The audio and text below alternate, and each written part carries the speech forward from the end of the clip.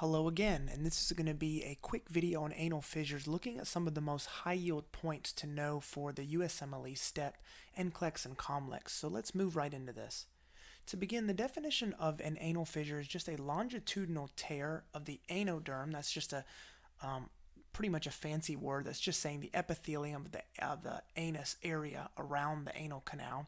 And that's is this is a longitudinal tear that is distal to the dentate line. Another name for this is the pectinate line. And this is going to expose the internal anal sphincter um, and cause a possible contraction after that is exposed to the outside. So, to, so that's kind of a complex definition, but I'm going to simplify it in all of that in this diagram.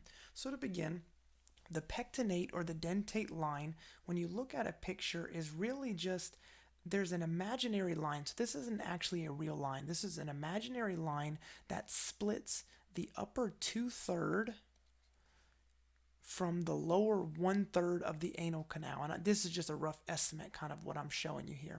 So, in other words, the upper two third of the anal canal is supplied by a different set of nerves, a different set of blood vessels, etc. And the lower one third is a different set from the upper two third. And that's all that's saying. So, what you need to know that's high yield is that an anal fissure happens distal to the pectinate line. So that means that it's happening down here at the lower one third. Okay, also you have to know that this is a longitudinal tear. That means that this tear is not going this way. Let me just go up here just to make an example. It's not going this way. The tear is actually happening this way. So this is a longitudinal tear. Okay, and it's happening here distal to the pectinate line.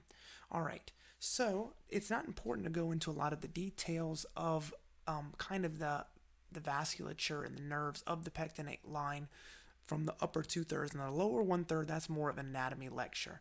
So let me go back and make sure I've covered everything in these points. Oh, also, when you have this tear, the tear at the distal to the uh, pectinate line, let's say the tear's here, basically it will go past the external sphincter muscle because remember the external sphincter muscle kind of goes all the way circumferential, but in this picture it's only showing at the lateral edges to show you the picture more clearly. But this tear can usually go all the way and kind of show some of the parts of the internal anal sphincter, sphincter that's kind of more inside and this is going to cause this tear is going to cause you imagine you start ripping a sheet of paper and here's the opening part right well what's going to happen is that internal anal sphincter will respond by causing a contraction which will then pull these parts more farther away. So you're trying to get healing by closing up this wound right here and eventually bringing these edges together. But what you're eventually getting is that spasming that's in response to this longitudinal tear, and that makes the healing process even harder. So let's move on to the next part, and we're looking at the location of the longitudinal tear. Almost the vast, vast majority of all of the anal fissures that you'll see is posterior to the anus at the midline, and I'm going to show you this in a picture. So remember in the previous picture I drew that at the middle and that's where the majority of cases happen. And then when they are when they are at this location, the cause is usually because of constipation. Okay? And then if it were in rare situations, if it were to be lateral or and or anterior to the actual anus then its cause then its cause is different and it's usually caused by then um, inflammatory bowel diseases surgery or a malignancy so let me show you all of this in a picture so this is extremely simple um, diagram I just drew out right here using the shapes um, feature. So this is right here, this is the anus, and then this is the skin, or all of this is the actual skin around the anus. So this would be the anoderm, that complex word that they use for just the epithelium of the skin around the anus. Okay, so if you were to have a longitudinal tear and you're looking at this patient and say this is anterior, so this is towards the front of their body, and then this is posterior basically the majority of the tears is going to be right here at the midline. Okay, so the tears would majority are going to happen right here. And this is, again, let me remind you, this is going to be um, distal. This is going to be distal to the dentate line. Distal to the dentate. Distal just means it's going to be beneath, it's not going to be in the upper uh, two thirds, it's going to be in the lower one third, past that dentate line, kind of more towards the outside of the body, and it's going to happen posterior. That means that it's going to happen from where the anus is located, it's going to happen kind of towards the person's back, going towards the person's back. Okay? Now, what you can have happen is if you were to have an anterior tear, an anterior fissure, an anal fissure right here, or if you have a fissure that would be one of the lateral sides, all of these are then you're going to be thinking of different causes because this is extremely rare to see. So now we're not thinking of constipation like you would in this location. In these locations, these three, you're going to think of causes like inflammatory bowel disease, um, malignancy, trauma like surgery, etc. You can see that in surgery and whatnot. So then the causes are different. So that's kind of high yield to know. A test question could say that the location of the anal fissure is so and so, whether it be lateral or anterior um, to the actual anus. And then you need to know, okay, what is the most likely cause? It's going to be one of these versus the vast majority of cases where it takes place at the posterior, posterior from the anus at the midline. See, so it's going to be posterior and in the middle of this, like in, in relation to the actual anus and then that anoderm. Versus um, these other locations, they're not necessarily at the midline. They can be, but it can be lateral off to the side and then it's, or it could be anterior, okay? And then, but remember for the posterior situation, which is the majority of cases, the cause is going to be constipation in most cases, okay? Because of that increased pressure causing a tear towards the back. Okay, so let's move on to the next point. So, what are some of the symptoms that a patient will have? Now, the most important thing, instead of memorizing each one of these things, you need to remember this right here. This is the most important thing pain with defecation. The reason is because oftentimes this uh, anal fissures is confused. So, anal fissures, I'll just write this anal fissures versus hemorrhoids. Okay, anal fissures versus hemorrhoids. I hope I spelled that right. I apologize if I did not. So, how the main distinguishing difference from anal fissures versus hemorrhoids that you'll see as far as in questions is this right here pain with defecation. That's more rare to see in hemorrhoids. You can see blood in the stool in anal fissures and in hemorrhoids. You have itching in anal fissures and in hemorrhoids, but pain with defecation is more talking about anal fissures, and that's what you really need to know. So if a test question tells you the patient has pain with defecation, history of constipation, then you need to be leaning towards um, anal fissures as your diagnosis over hemorrhoids. Okay? So let's move into the next point. You can have acute situations of this and you can have chronic situations. Now, this is super simple to know, except for some of the details that I'll talk about that will then make sense, and I'll give you a little mnemonic that helps me to keep some of this straight. So an acute case, well, you know, acute just kind of is more, it just means kind of shorter term. So this is less than six weeks that this has been going on. And this one, in this situation, it's it will be more red. So it'll be a lot redder in color and you'll be dealing with a little bit more pain versus in the chronic situation. Whereas in the chronic situation, it's going to be it's been going on more than 6 weeks. And in the chronic situation, you will have raised lumpy borders. I don't have a good picture for that, but I can draw it out and show you. And it's usually less painful. And then you have two other features that are is more in the chronic state. You have skin tags which is just this little area of skin that kind of sticks out and it almost looks like a wart. It's just called a skin tag. Now, this is important. The skin tag is going to be distal to the tear. And then papilla. Now, remember the papilla, like if you look at the, say, an epithelium. Now, we're, again, we're talking about the anoderm in this situation. The papilla is just kind of this kind of looking, like a wavy looking um, surface of it, and that's called papilla. So the papilla of the anoderm, if you were to take a histological slide, it would show papilla hypertrophy. But the location it's going to show papilla hypertrophy is proximal, proximal to the actual longitudinal tear. Now, I said all of that. Let's get into the drawing to simplify all of that. So here's, I'm going to draw out kind of what we had saw earlier. So this is right here is going to be the actual anus, and then the surrounding area is the anoderm, okay? Now, what I wanted to show you in this picture is, I'm going to make sure I got everything in this slide before we continue. Yes. So back to our picture.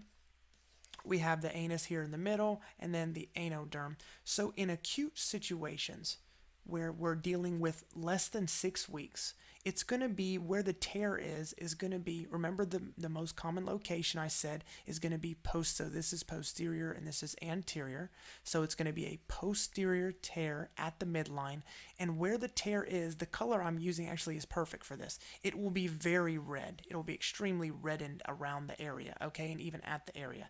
That should help you lean towards uh, an acute kind of case, especially, obviously, they tell you the timeline is less than six weeks, okay, versus a chronic situation. Now, let's draw this again. And let's look at a chronic situation. It's a little bit more complex. So this is again the anus and then this right here, this whole thing is going to be the anoderm. So in a chronic situation, we're still going to put the um, the fissure here, but in a chronic situation, it won't be as red, okay? So it's going to be more dull colored, kind of closer to skin color. And then around the edges of the anal fissure, you'll see this like these, oh, sorry about that. You'll see these almost like lumpy kind of surface. The skin and stuff will be kind of elevated around it. It'll be more like this. And then also you can have a skin tag, but the skin tag is going to be distal to the tear. So the skin tag will show up down here. There'll be a skin tag and that this is all to help you point towards a chronic cause and also say it was very hard to see where sometimes anal fissures are kind of hard to see because they they some of them aren't very deep and they don't show up very well so a skin tag can help you know if you know that the skin tag shows up distal to the um, anal fissure in chronic situations, then you know if you can see the skin tag, it has to be the the fissure will be proximal to that. And then again, remember at the very top, you're going to have proximal to the longitudinal tear. If you were to take a biopsy right here of the segment proximal, you would see villus hypertrophy. So whereas before, say in a normal situation of epithelium of the anoderm, you would have like just a papilla like this. Now in this situation, the papilla of this anoderm is going to be way hypertrophy, so it's going to be a lot bigger. Okay, so that's that will happen proximal. Now how do you remember this? Well, the word papilla has a P, P and proximal. So you're going to have proximal papilla hypertrophy, PP. Proximal papilla hypertrophy. So it's going to be proximal, which proximal means kind of closer up towards the top of the body, going back in towards the anus. And then distal, you're going to have the skin tag. And I don't know why this is just stupid, but I always think of like, say you're selling something like a candle, okay? A store is selling a candle. I always imagine that when you put a price tag around something, the price tag hangs down low and the price tag is more distal. See, it's kind of farther away from the actual um, point of reference that we're talking about. I think of a price tag kind of hanging low and it, that's down towards the ground, so distal. Okay, so that's just the way that I remember those points. All right, and then finally, we just have the treatment here. So the treatment needs to happen in this order. Okay, that's this is the order that's going to occur. So first of all, you start you go from simple to more complex. So you want to look at their diet. If let's say for example it's a rare cause. Let's say for example the anal fissure is located lateral um, at the, of the anoderm. So that tells you that you're you're thinking more or less this is not really an issue of constipation. Let's say that in this patient they have um, ulcerative colitis or Crohn's disease, any of the inflammatory bowel disease. So you would definitely want to recommend certain diet changes, or let's take, for example, they have irritable bowel syndrome. You would definitely want to lower your concentration of fats that you take in your diet. So, a diet change would be necessary in that situation. And you always want to increase fiber, regardless of what their diet is. So, it's proven that uh, increased fiber helps with. Uh, decreasing the prevalence of anal fissures. Okay, so if that doesn't work, you start with that, and if that doesn't work and they're still having problems, then you move on to nitroglycerin. So what's the mechanism of nitroglycerin? Remember, it's acting as that um, vascular dilator. Vascular dilator. So it's going to dilate the blood vessels, and specifically, it's going to work. Um, we're going to want it to work at that posterior. That's the majority of cases, right? So I'm just taking the posterior in this example. So if we wanted to dilate the blood vessels at the posterior midline um, of the anoderm, then what's because the reason we're, this works is because it is proven that at the posterior midline of the anoderm, the blood supply is very low. And so it's it's vulnerable to ischemia, and that only makes the prevalence of the anal um, fissures more. It makes it more likely to happen. So that's why these vascular dilators, this nitroglycerin, um, can help in that situation. Okay, and then you try that, and if that doesn't work, then you go to Botox. And so Botox just stands for the botulinum toxin, and that is going to paralyze um, that area, basically the muscles and stuff in that area, and lock up to where you don't have movement. Thus, and remember, you're paralyzing that paralysis that I talked, that spasm that I talked about earlier. So you're if you're if you're causing the paralysis of the muscle there, that means you're going to have a paralysis of the internal sphincter. And that internal sphincter was causing problems because the longitudinal tear was actually going past the external sphincter and into closer to the internal sphincter. And this exposing of the internal sphincter to the outside environment is causing this uh, fissure. It's basically the internal sphincter contracts and it pulls this figure more open. So now it's even wider and it's and it's even makes it harder to heal. That's the reason Botox works because it's going to paralyze the ability of the internal sphincter and and even the external sphincter, which can also uh, cause problems. Basically, it will paralyze that area and allow healing to work. Okay, and then the last point is surgery, and that's in really extreme cases where they do. You don't have to know the specifics for the step one exam, but uh, basically, what they're going to do is they're going to take this a flap of skin, they're going to cut it in a way that's they're basically so say this is the fissure they're going to cut the skin kind of down here and cover up the fissure with that skin to stop exposing it to the outside and allow it to heal more so.